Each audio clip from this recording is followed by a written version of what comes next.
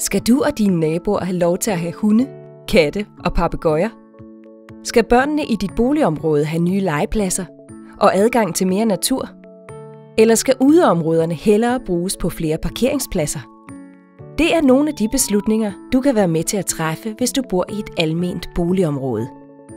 Her bliver store beslutninger truffet på demokratisk vis, på det vi kalder afdelingsmøder. Men hvad går afdelingsmøder ud på? Og hvorfor skal du interessere dig for det? De fleste almene boligorganisationer er inddelt i afdelinger.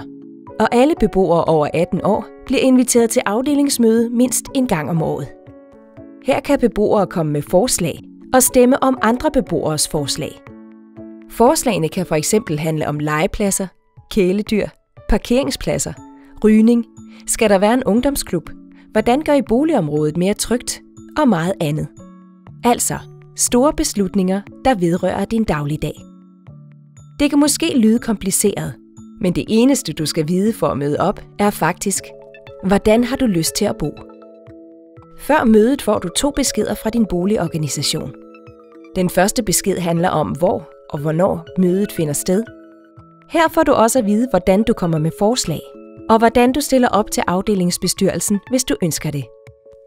Den næste besked er en indkaldelse til mødet. Her får du også en kopi af de forslag, I skal stemme om til mødet. Og en liste med navne på de beboere, der stiller op til afdelingsbestyrelsen. På afdelingsmødet skal de forskellige forslag til debat og afstemning. I skal også stemme om, hvem der skal sidde i afdelingsbestyrelsen. Det er en god idé at stille op til afdelingsbestyrelsen, hvis du vil være med til at tage dig af dine og dine naboers interesser. Det er nemlig den, der tager sig af boligområdet mellem afdelingsmøderne, og som gennemfører de beslutninger, der bliver truffet på møderne. Hvis du vil vide mere om afdelingsmødet og beboerdemokratiet, så tag fat i din afdelingsbestyrelse.